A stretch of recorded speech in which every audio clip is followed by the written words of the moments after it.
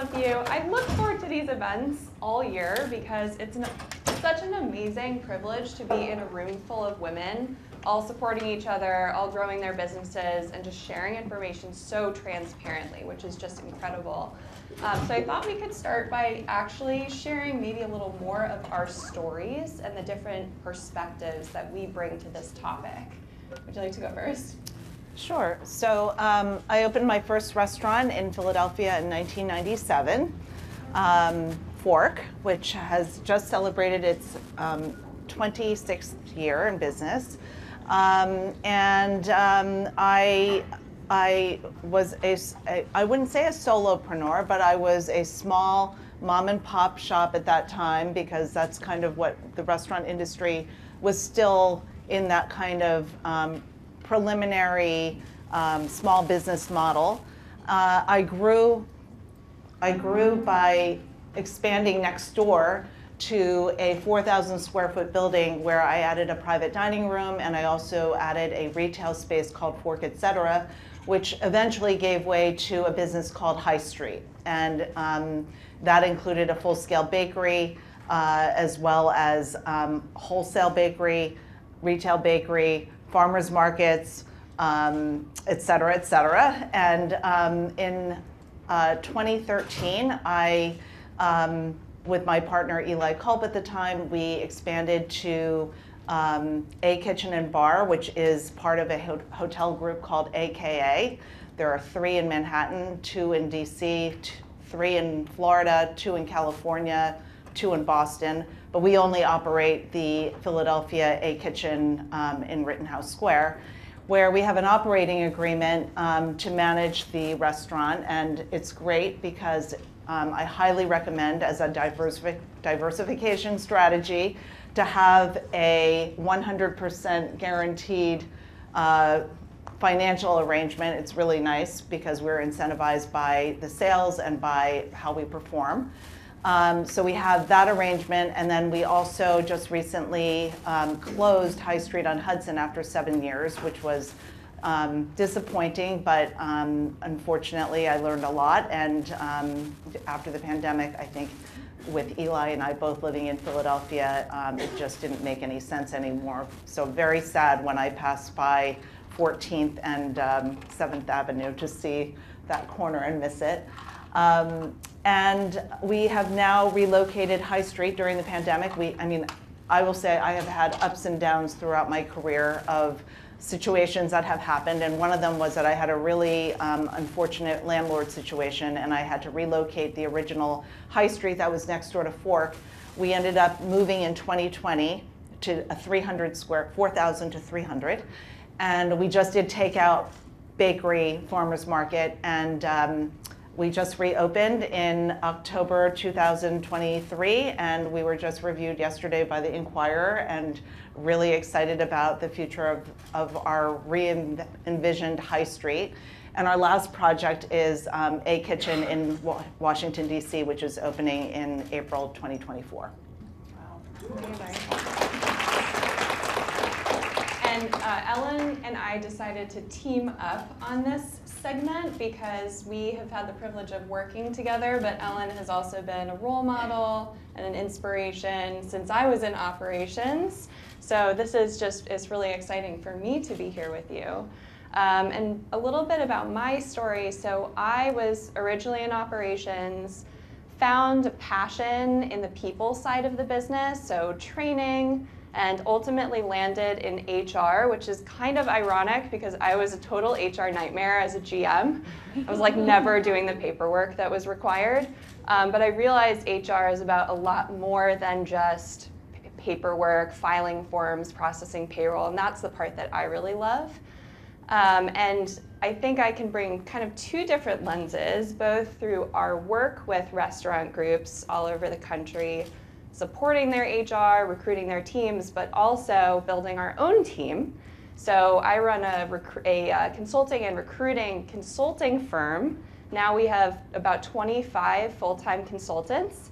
And this past year, we just were recognized as a great place to work, which is a national certification that uh, comes from a survey that your employees complete. So you have no idea how it's going to turn out.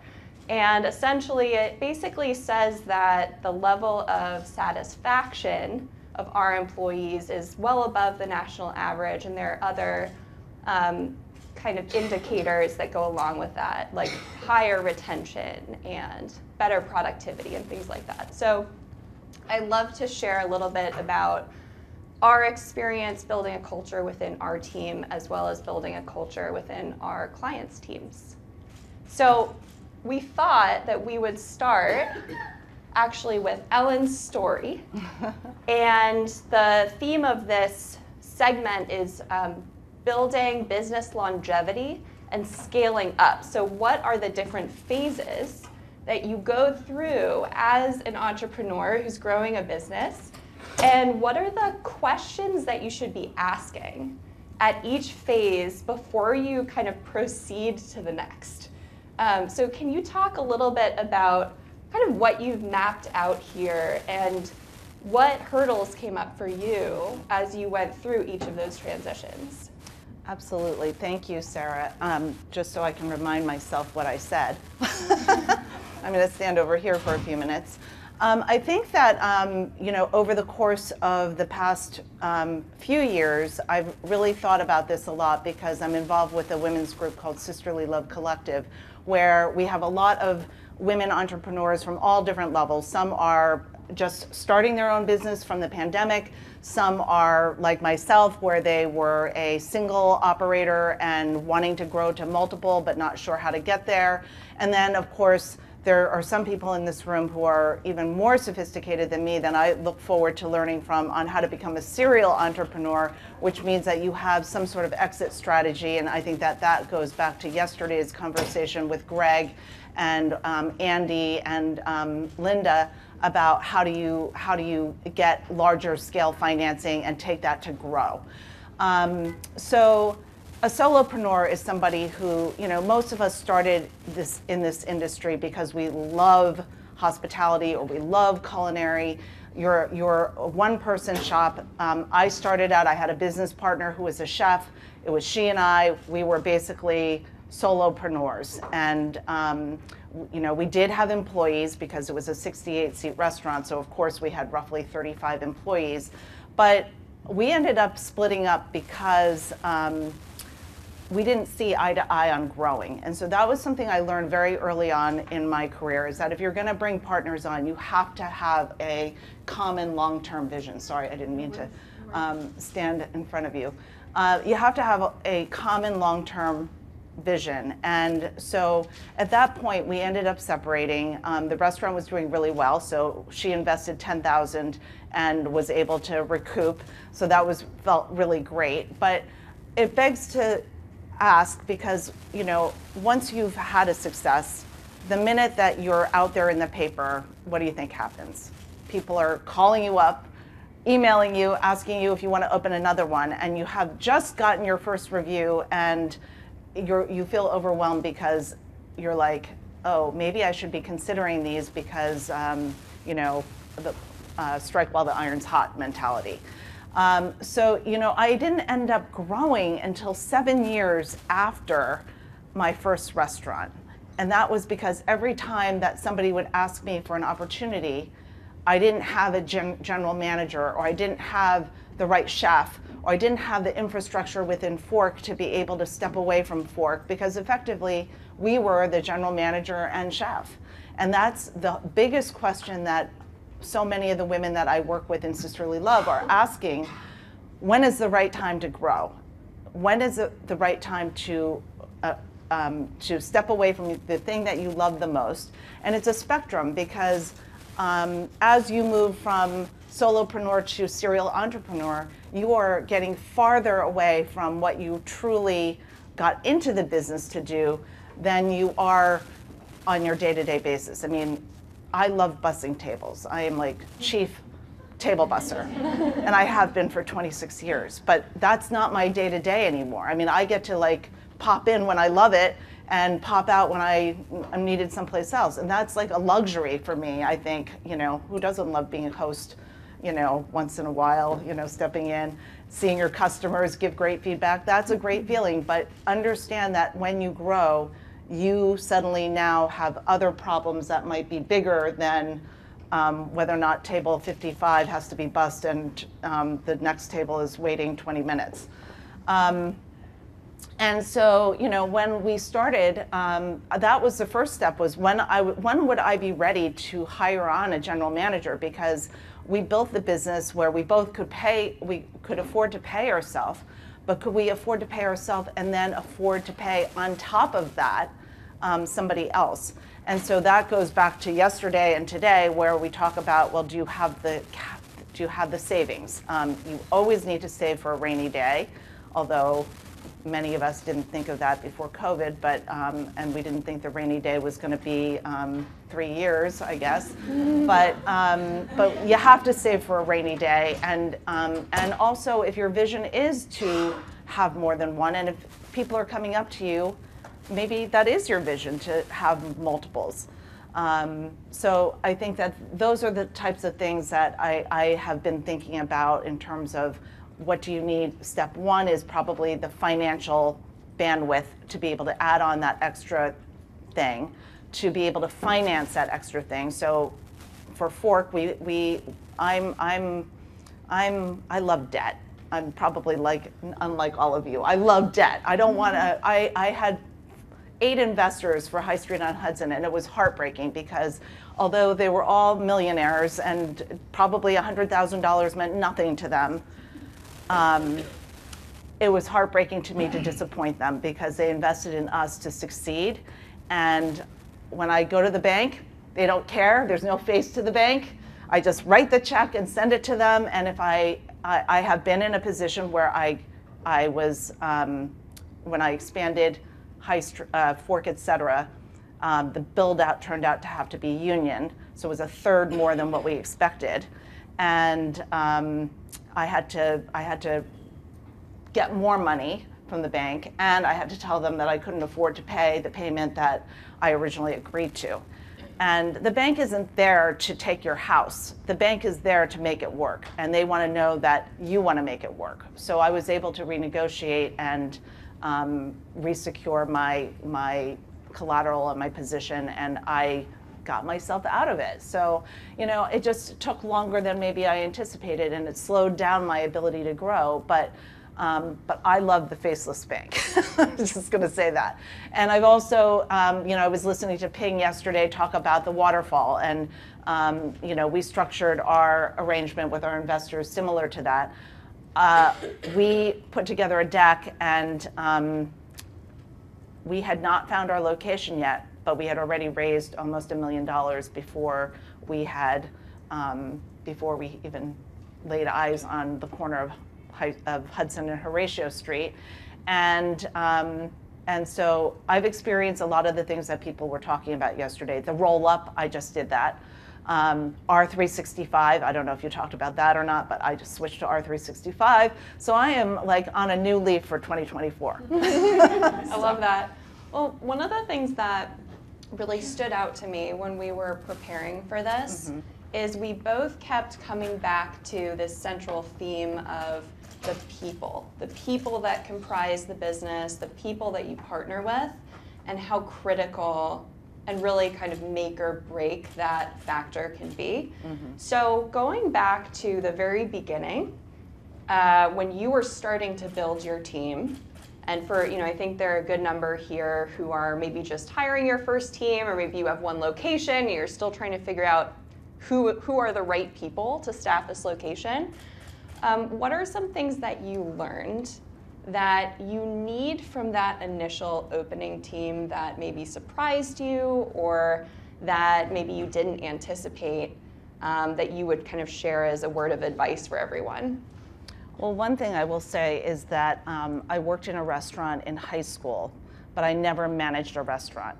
And I never, I, I really didn't know what I was doing. Um, I was a consultant before that, and we just make PowerPoint presentations basically as a consultant. so I didn't really know how to do anything. Um, so I really had to come at it from the position of, hey, we're building a vision, and I knew that it was very difficult to um, keep front of house staff. And so I really leaned on them to try to help create a vision.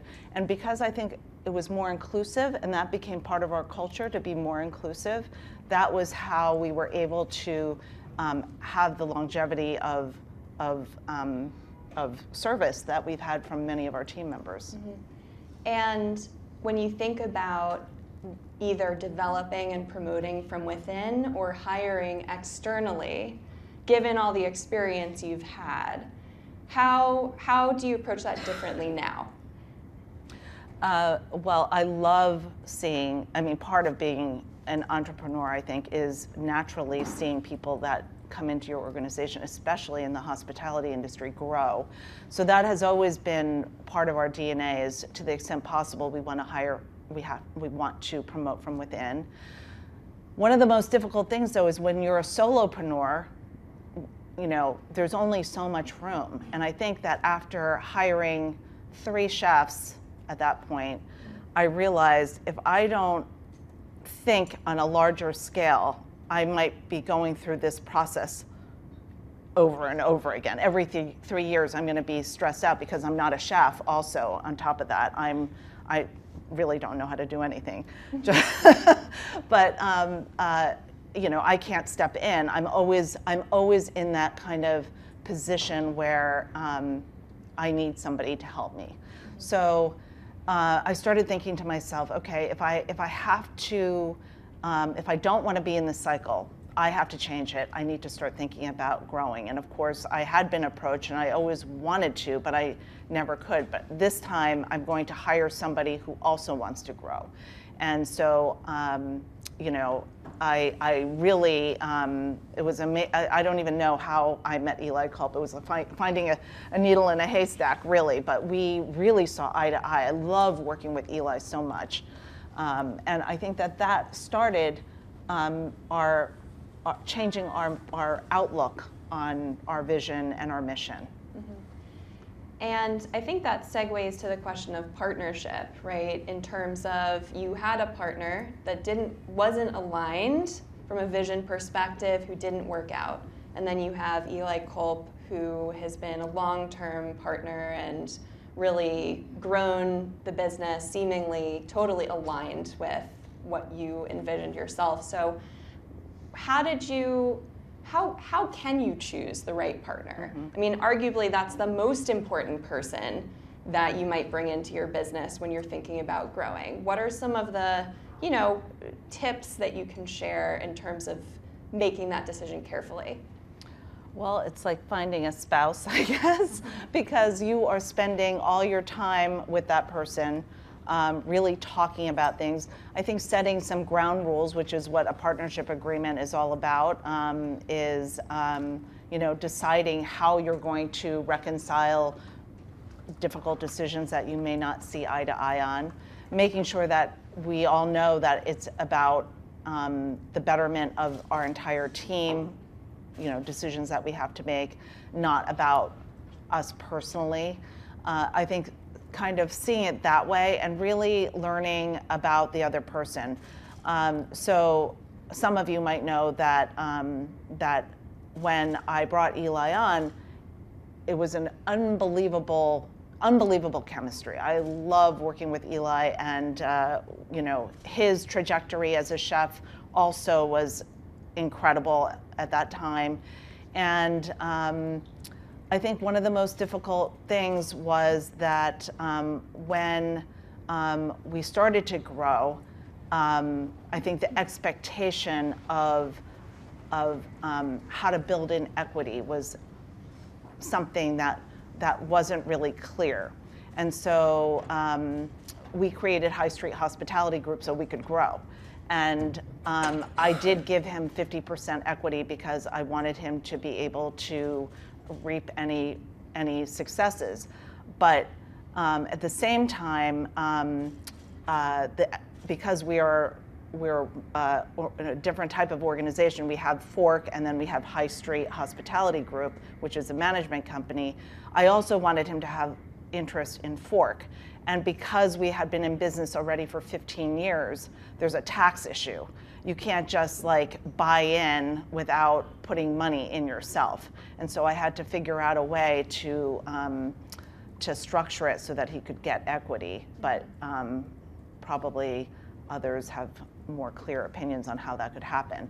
Unfortunately, then he was in his accident. Um, he was in tra- the train accident from Philadelphia to New York, and that kind of shifted things. He's still a partner in the business, but more of a silent partner than you know an operating partner. Mm-hmm. We had talked also before about alternatives to actually giving someone equity in a business. And when, when we think about retention from a strategic perspective, I think equity is a buzzword from the tech industry, and everyone's everyone on my team is asking, when can I have equity? And it's like it doesn't exactly work that way in different types of businesses. But um, what are other ways that you've managed to retain key members of your team without giving them equity in the business? Well, I think that's a great way of phrasing it because equity doesn't necessarily mean that you get more say. You might have equal say um, you know, in making decisions about um, the business as a non-equity holder, as you do as an equity holder. The issue that people don't understand is that becoming an equity holder also means that you may be at risk for if the company needs money, you may also have to contribute money at some point or um, sacrifice your salary or whatever it, whatever it may take. So being an equity holder isn't always you know, a phenomenal, glamorous, glamorous thing. and also, how do you get your equity out? You might get a small distribution on a yearly basis, but maybe you would have made a bigger salary if um, you weren't, you know, an equity holder. I don't know, but. Um, but other ways I think are incentivizing people based on their performance. So just like I'm incentivized when I work for AKA as the operating partner. It could be based on sales, it could be based on net profit, it could be based on whatever criteria that you decide that um, you want it to be. So, for example, um, some of my chefs have been incentivized. So, if they manage their labor costs and their cost of goods sold over a certain period of time, they get to get a bonus. Um, you know, those type of things. Yeah. And I think, uh, from my perspective, how you structure your compensation incentives, so your bonus program or your ghost equity or whatever you want to call it, it really echoes what your philosophy is as a business or what you want people's focus to be. So it's really not a one size fits all proposition, but it's something to think about like, how do I want to redirect this person's focus? and give them a stake in some part of the business, whether it's you know cost of goods or building revenue or whatever it might be. Right. Um, you also talked about benefits because you started off with a very generous benefits package, um, from my perspective at least. How did you decide to do that, and how did you afford to do that? Uh, I come from a different perspective. My MBA is in healthcare management, and I was um, I worked for Thomas Jefferson Hospital doing primary care network development, and so I really felt strongly that um, people in the hospitality industry are young, but they need to have primary care. And so I came from that perspective, and I tried to sell this idea to all my employees. At that time, healthcare was only $200 a month, or maybe even less, 150 for a premium. Um, and um, I was unable to sell the majority of people on it, um, but I did make people aware, and people were really grateful that they were able to um, sign on to our healthcare program. But at that time, it was just offering the healthcare benefit and explaining to people that it's a tax benefit. So if the premium costs $150, they're basically getting like a third off. Um, so we started with that. We had a 401k simple plan, which most people don't know what a simple plan anymore is, but a simple plan allows you to have um, not be not have to file all the paperwork. Um, and but you have to contribute 3% to everybody and they are aut- automatically vested. So I have people I never I never changed my 401k plan and I still have people from the very beginning and I look at their savings and I see how much they've accumulated over 25 years, and I'm really happy for them. Um, and also, th- they were allowed to take loans against their 401k. So those were two really simple benefits. And then we added on a, you know, we had the cafeteria plan because we set up the health insurance plan, which means that you can add on transportation, you could add on cafeteria, uh, children's um, child care benefits. Um, and so, you know, I would, I would explain these to people, but it wasn't until we had formal onboarding until the pandemic hit that people really started wanting these benefits. So we've been offering them for 25 years or so, and um, I would say probably max 15 people might sign up for it. Um, but, um, but now we have a much larger roster of people. Yeah. So we, we also cover 50%. In in the beginning, then was it not as much of a financial factor, I guess, in terms of budgeting for benefits, or did you still have to make some compromises to offer health insurance, to offer 401k? I mean, those are they're not ben. I'll just say, speaking from our clients that we've worked with, they're not standard benefits in our Right, right. industry. So, how did you make that work financially? Um, I think that um, that I included it in my original startup, so I was expecting it to be an operating expense. I didn't know how many people would sign on, and because we were theoretically not paying for it, um, I was just paying for the administration of it at the very beginning. But it, you know, as we grew on, grew, I mean, I would say maybe five years in, we started adding, you know, you get this this much insurance benefit, and then of course when ACA started becoming a thing, we increased our um, contribution, and you know, and took away the choice. Right. I actually, I wanted to skip forward here because I think this is relevant. Um, I wanted to provide a broader perspective on the different layers of benefits.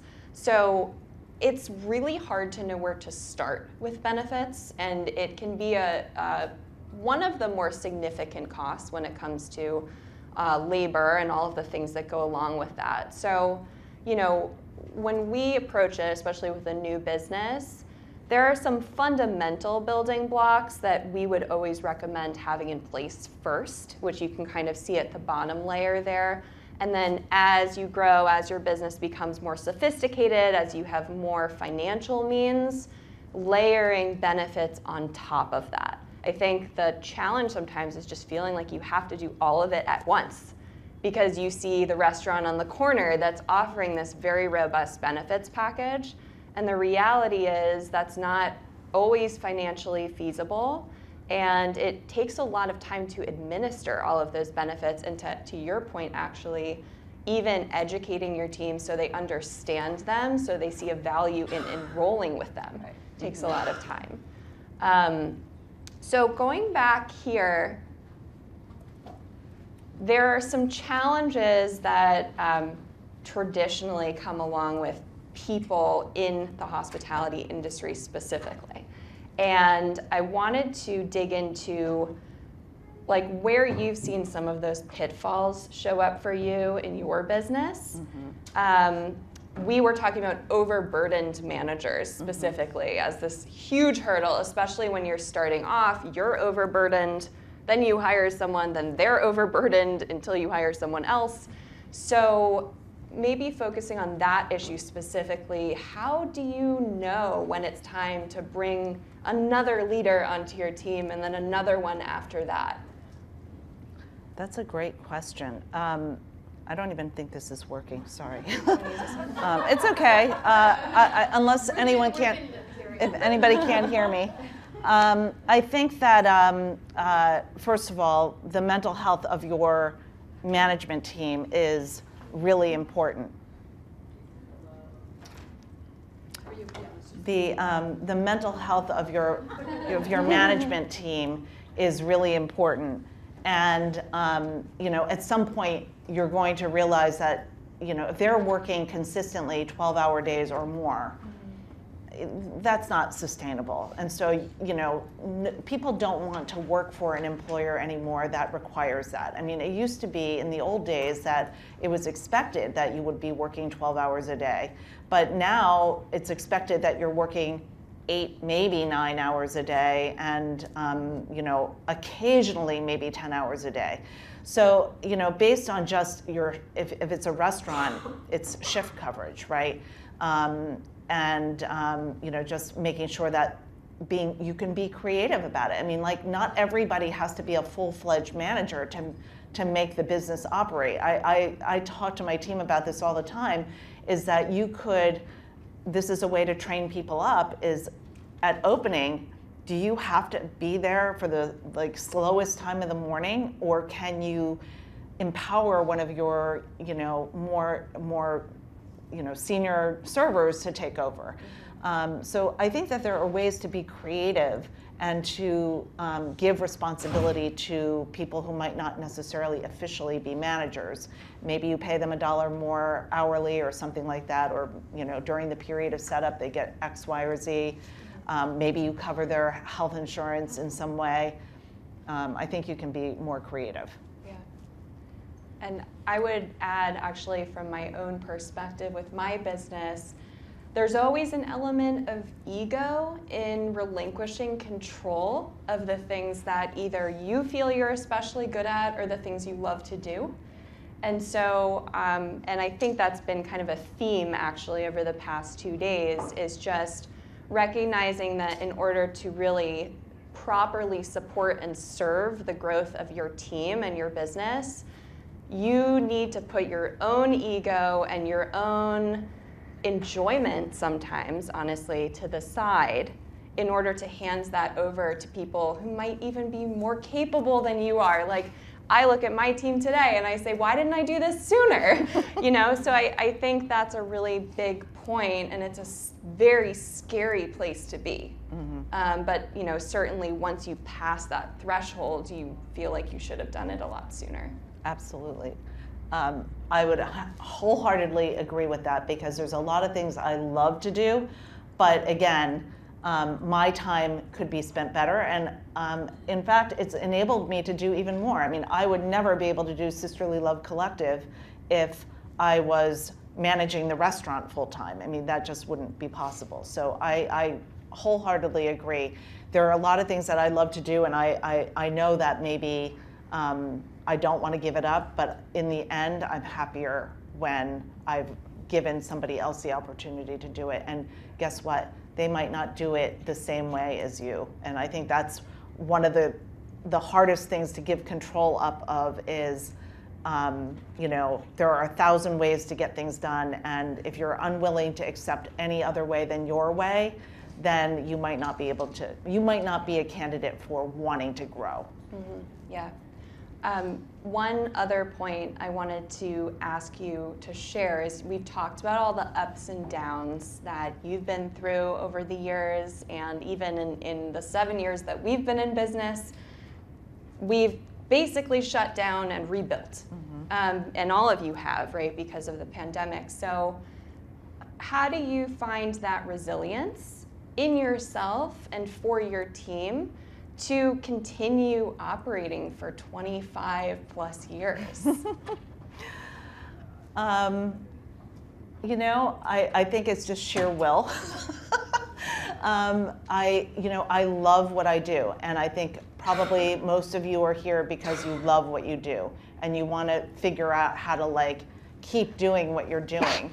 And I just don't accept that there's not a solution, except sometimes you have to. I mean, like Hudson Street, as much as I loved it, I, I could not sustain coming up here in 2020 or 2021. It just would have not, it would have sunk our whole company because I have four businesses in Philadelphia and one business here. If I had to restart High Street on Hudson from like, and everybody left, chef, servers, managers, I mean, like restart the entire business from scratch, there was no way I could do it.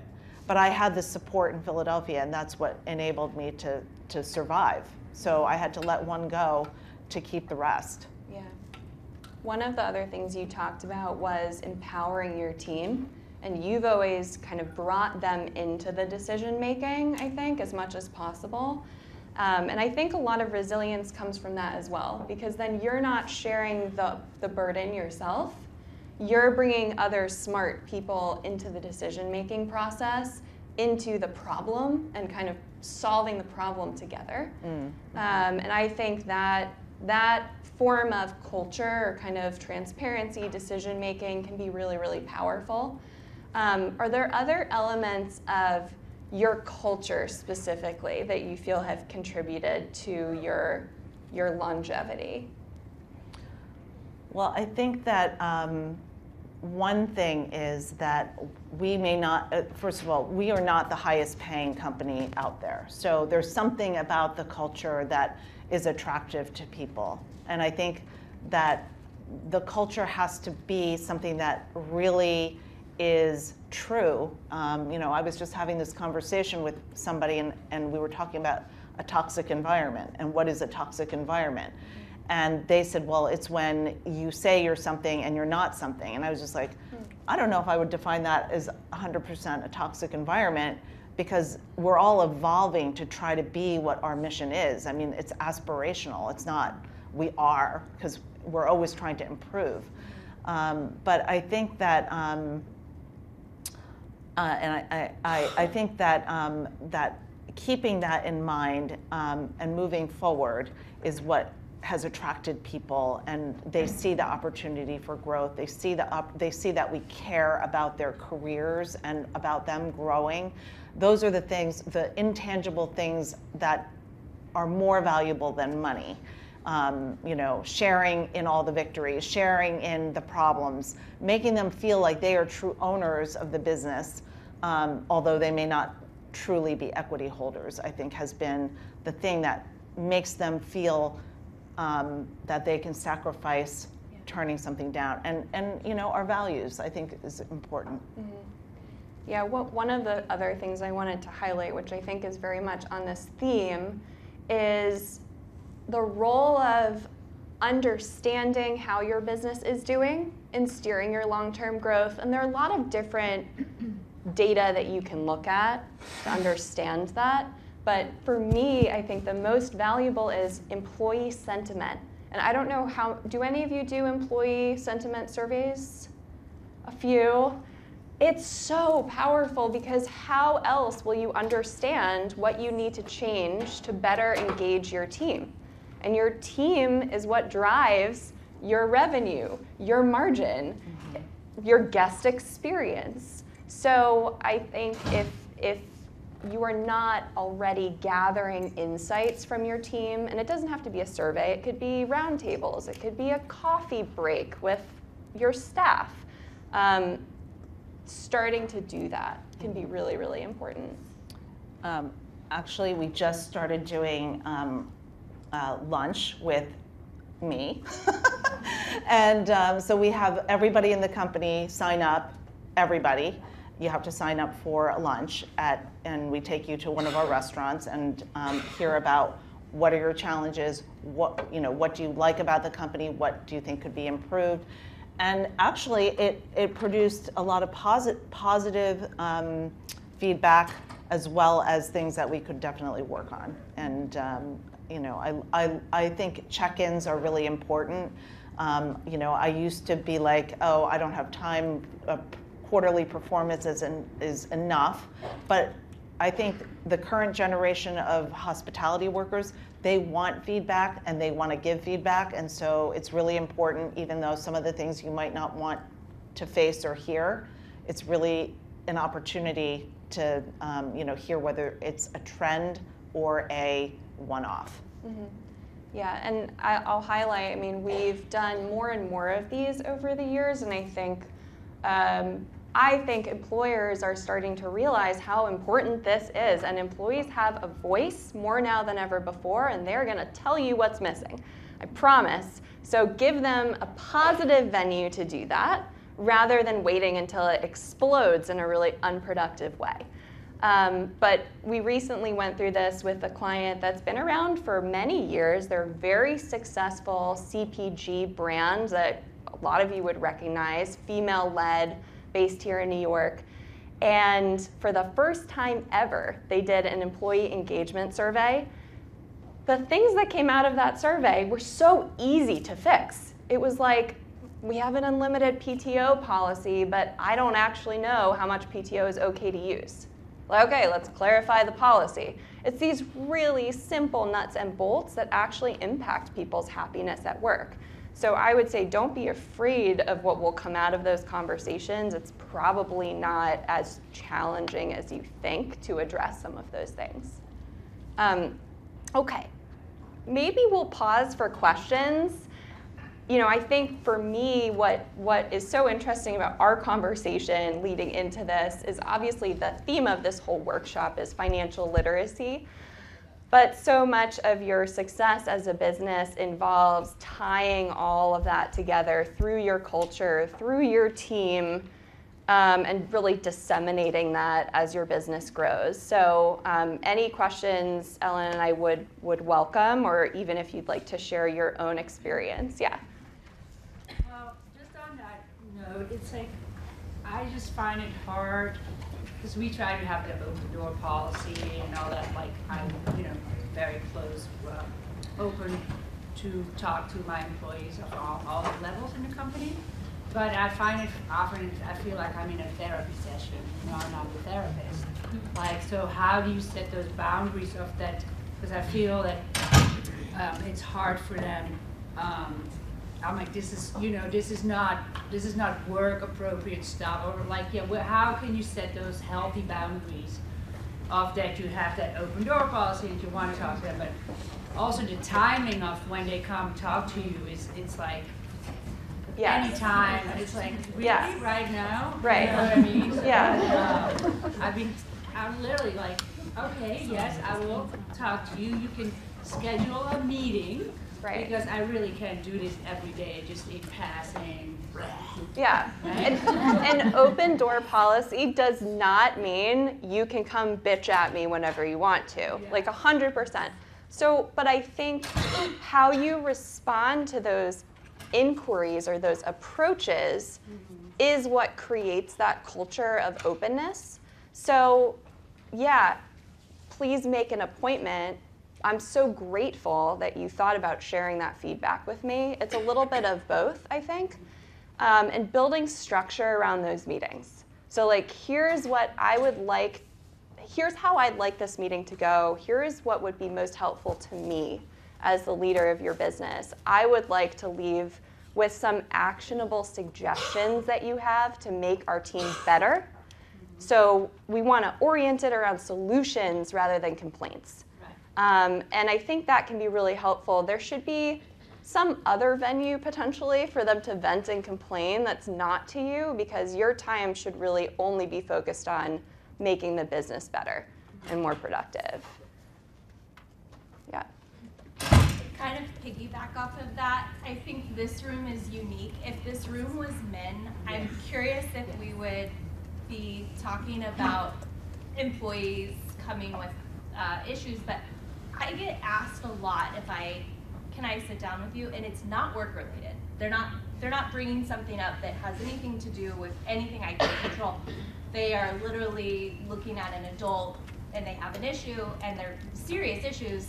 So it's really hard to balance like how do you Not be the mom?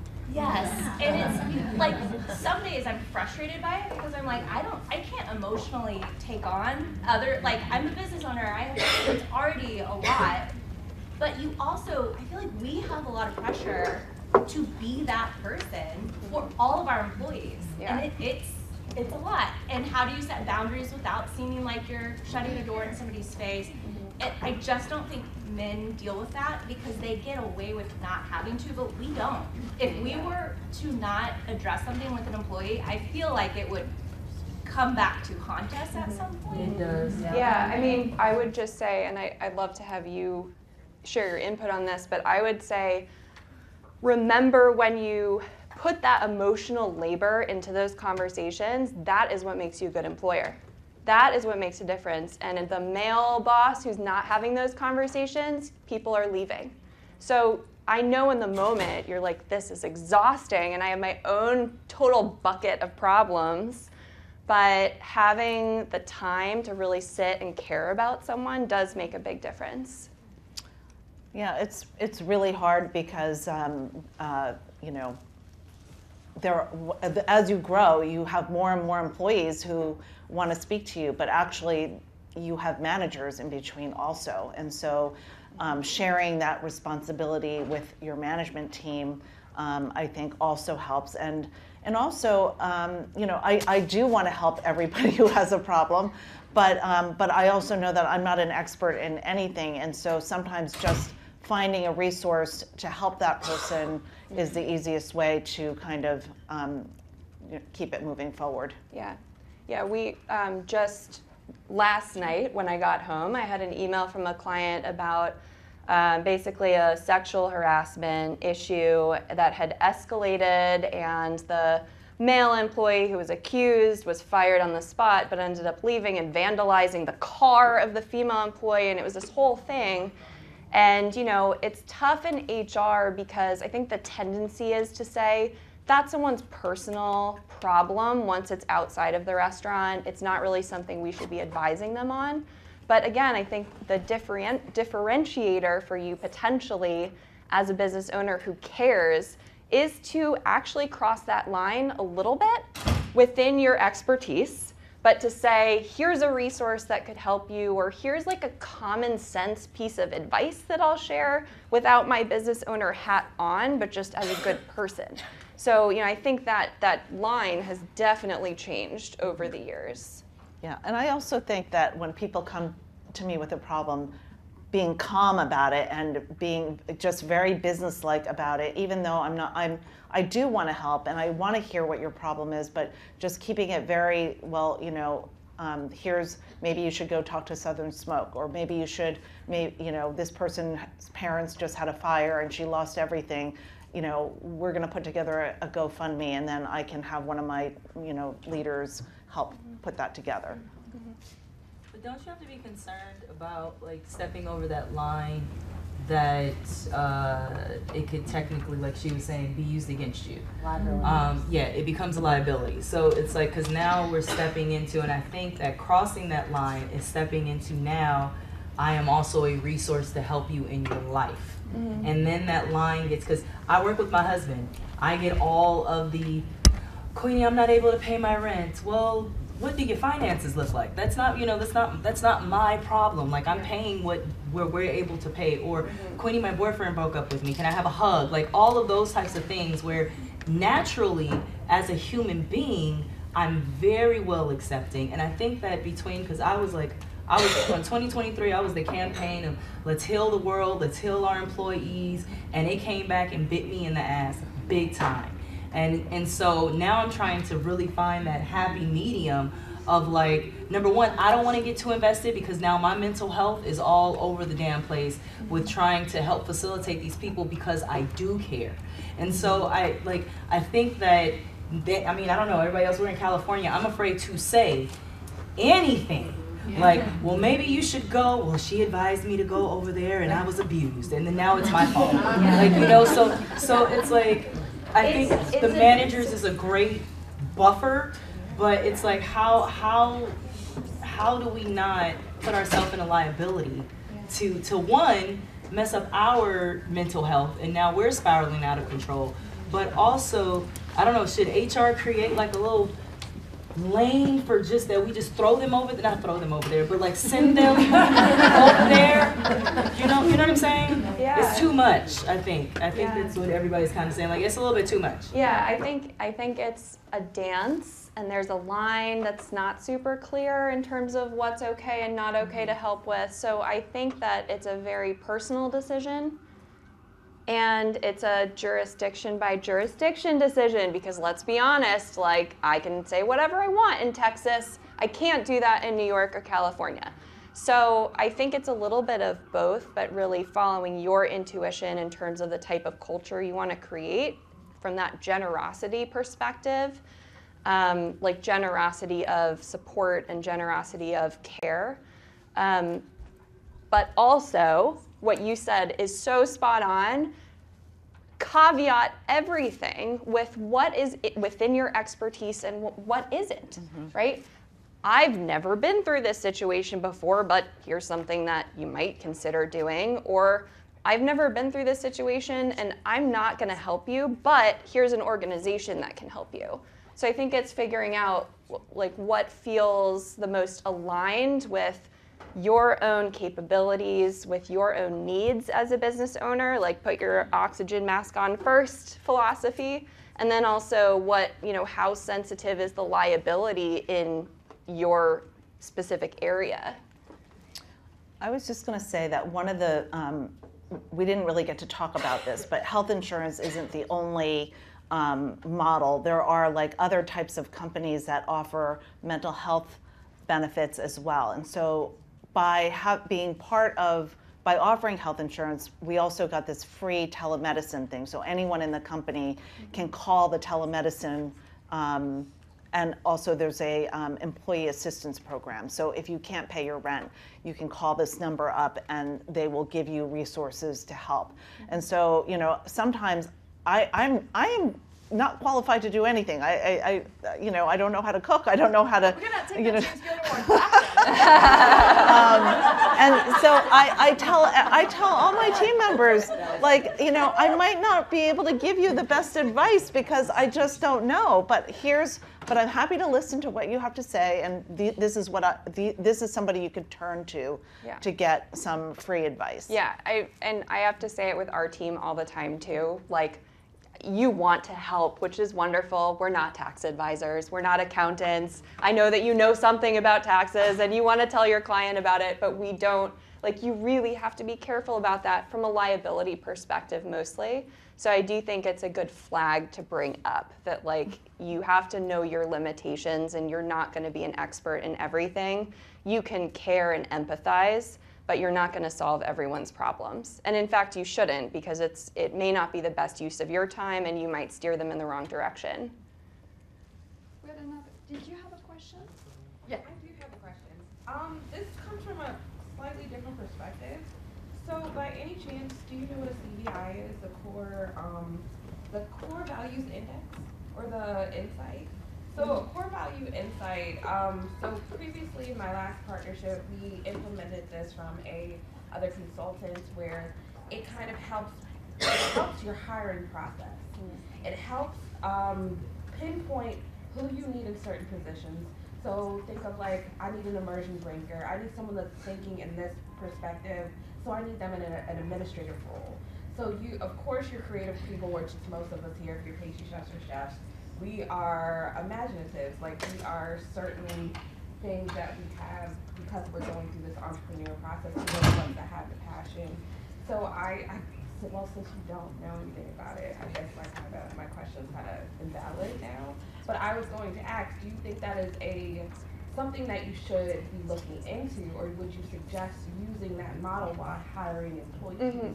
So that we have a better insight of where to put people, are they valuable in this place, will they get bored? Because you don't want someone that is a creative in an administrative role, because they're gonna get bored, they're gonna get tired, and they're gonna start to have issues. Mm-hmm. If you Yeah. don't have that creative outlet. It's a good question. I, while I'm not familiar with that specific one, I am, have used lots of different personality assessments, aptitude tests. I mean, when, when I was at Hillstone, we gave every single employee an aptitude test and a personality test. And we actually weren't allowed to hire someone who didn't score a certain way. So, you know, is there value? I think that um, there are a lot of, I guess, detractors who believe that those tests are very, um, they kind of boil someone down to a statistic, and that feels really gross. Um, but I think that can be a valuable tool. So um, I'll share like what we do with our team is we have everyone who's new, who's already been offered a position. They complete a personality test that's like it's more fun than serious, but then they share it with the team, and it's their way of saying, here's who I am, here are the things that help me work effectively, here are the things I might struggle with, and it's the interpretation, I think, that's incredibly helpful. Um, so we have other clients who have done DISC assessments. We, you know, there are a lot of different tools like this, and um, while I think they can be a little bit dangerous if you reduce your hiring decisions just to that, I do think that they can help potentially flag some concerns or give you something, give you direction. Like, here's something you might want to dig into a little bit more in your actual conversations with that person. Can I just add to that because we used that under a previous HR person at JBF. We did all DISC tests when after after uh, starting, and they're they're they're fun to do. It's great to see how you compare it to your team, to your colleagues. But then if there's no follow up with this, it feels very useless. So it feels like it's something that should be part of a plan where there's action afterwards or there's follow up quarterly. Like what do you do with that information besides the first 10 minutes you look at it? Yeah. Yeah, I agree. I think it's one data point in someone's performance or someone's orientation as a person that can help you manage them on an ongoing basis. So I do think, totally agree, it's a lot of fun.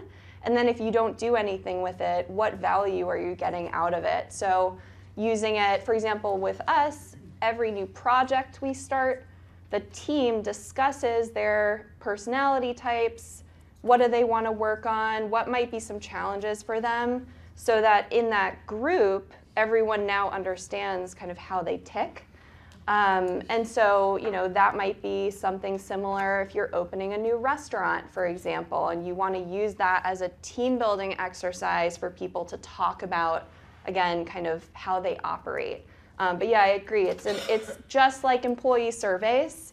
You can't just do the survey and then say, oh, that was interesting. you have to actually share your findings and, and act on your findings. Otherwise, that whole exercise can actually really destroy morale. We'll do one more question back there. Yeah. Um, so Stephanie was saying earlier that. Can you she speak up a bit? So, um, earlier Stephanie was saying during her presentation that she finds that a lot of companies don't bring in HR early enough. And as someone who's in the early stages of starting a first business, um, I guess what would you advise, um, like at what point to establish, like, say, a handbook, you know, or something like that, even if it's a really small business with very few employees, just to, I guess, protect oneself and business, and also more for Ellen, um, like, um, in terms of investing in your employees, how did you establish kind of a baseline for what's forgivable behavior and where something's like immediate grounds for dismissal? Like, do you have a standardization? Is it always case by case? Like, someone who's caught stealing or perceived stealing, maybe a, too many shift drinks or something like that, like, you wanna retain them because they are valuable in other ways, like, how do you, how do you know where to keep investing or there's too many customer, customer complaints and you say, at this point, it's not working? Well, to answer your first question about um, HR, when to bring HR in. So, first of all, having an employee handbook is mandatory on the day that you hire your first employee because you need to set the tone for uh, we use it we use the employee handbook not only as a, um, a, a uh, an informational sharing uh, tool, but we also use it to set standards of behavior and what's tolerable and intolerable. We have a whole section that says these behaviors may be grounds for immediate termination. And we go through like a list of 25 things bringing a weapon to work. Um, you, know, things like, you know, it could be anything. It could be um, misutilizing um, somebody, somebody was taking coffee um, and gr- grinding the coffee and putting it into a bag and then putting it into their um, take home bag. I'm like, I'm not the coffee shop. I'm, I'm like a business. You know what I mean? Even though that sounds minor, but like that is like th- that is th- if they're doing that, where else are they, be, you know, behaving in that way, stealing? Um, so I think it's really important to set the tone for that. It also says what to do if you need to call out sick um, how to apply for PTO, how to, um, you know, get your paycheck, when to get your paycheck. Like we don't allow people to get their paycheck during certain hours because we're in business and we don't want a whole line of people coming into the office you know trying to get their their check so you know we outline every expected behavior so that um, we are letting you know what our expectations are. And I think that's that's the most important thing. I met Sarah from listening to her speak at Fab, and I immediately was in love with Sarah and empowered hospitality. And I immediately was just like, I need this woman to be part of my team. And um, that was in 2018, I think that um, that. So, yeah. So um, yeah, and and it started with asking her team to just review our manual and um, make sure that it was in compliance, which they did. Um, and um, you know, this morning my first call of the day was with Sarah's team because we had a we had a snafu. Um, it was kind of a major snafu, but um, but you know, it it's there are different ways to work with HR, and I think you can get creative in that regard and figure out what fits best for your stage of, of business. Um, what was the last second half of that? Well, I think you sort of covered it in your employee manual where you say these, these things are just immediate, you know, grounds for termination, but maybe, I don't know, in your experience or other experiences, other people's experiences, like, if you haven't necessarily established that manual yet, where, how do you draw the line in terms of, you know, employees who are valuable in a lot of ways, who've worked with you a long time, you wanna invest in them, but you know, there are, there are issues, like, is it, you have to be a little more case by case, or do you find that it's, it's better to just sort of have a standardization? Well, I think that the more you create standardization, the more you're creating just a cadence and an expectation for, for how people should behave. And so, you know, the biggest thing I learned when I first opened was I felt a lot of servers didn't feel that people that people respected them as professionals. And so that's why I started creating, making the tone of it, this as to make our business more professional. That this is why we have a, a manual. This is why we're doing quarterly reviews. Um, I created a evaluation form that says, okay, greets a table in two minutes, um, brings water, um, does side work, comes to work on time. You know, where I rated everybody from one to five, and we it, it wasn't used to decide whether they were getting a raise because they were all tipped employees, but explaining to them what um, where they needed to grow and where they could use constructive um, improvements. And then for the back of the house, also creating ranges. So, so a garde manger cook makes from 14 to 18 dollars per hour. This is what the job duties are. So having job descriptions that clearly outline what's expected and um, you know how you're being measured.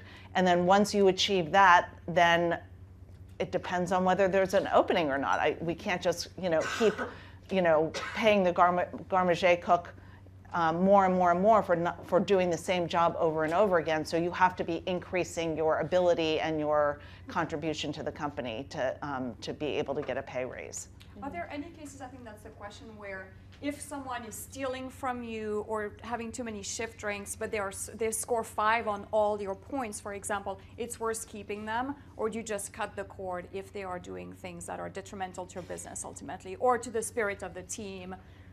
Right. The person who was taking the coffee had been there for, um, I want to say, probably five years, and it was heartbreaking. But um, you know, if if this is one of the things that was outlined, unfortunately, as much as I didn't want to make that decision, we made that decision.